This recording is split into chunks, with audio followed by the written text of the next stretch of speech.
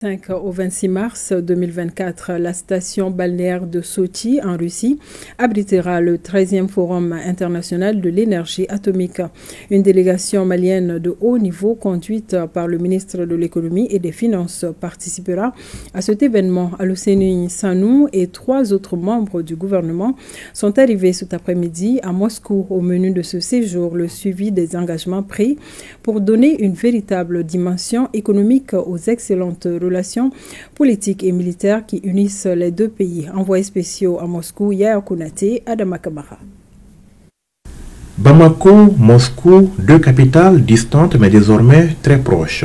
En témoigne la constance depuis un certain temps des échanges de délégations officielles.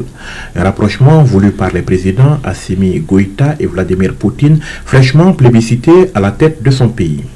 Au lendemain de cette réélection, revoilà donc une délégation malienne de haut niveau dans la capitale russe, conduite par le ministre de l'économie et des finances avec à ses côtés trois autres membres du gouvernement.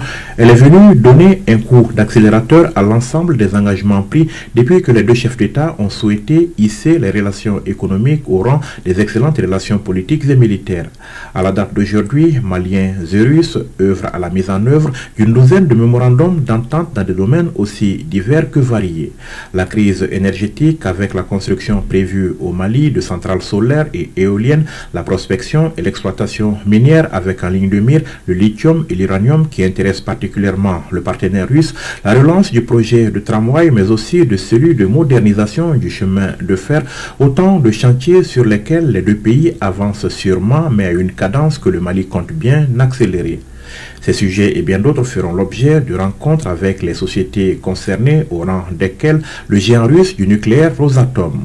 C'est justement à l'invitation de l'agence russe de l'énergie atomique dont une des filiales, Novavind, est désormais engagée dans la construction de centrales solaires chez nous au Mali que la délégation malienne prendra part les 25 et 26 mars 2024 dans la station balnéaire de Sochi au 13e Forum international de l'énergie atomique. Il s'agit de la plus grande plateforme d'affaires et d'exposition où les dirigeants des grandes entreprises du secteur et les experts échangent sur les objectifs de développement des technologies nucléaires un espace où se nouent et se renforcent des partenariats en la matière. Le Mali, il faut le dire, s'est déjà montré intéressé par plusieurs usages civils de l'énergie nucléaire.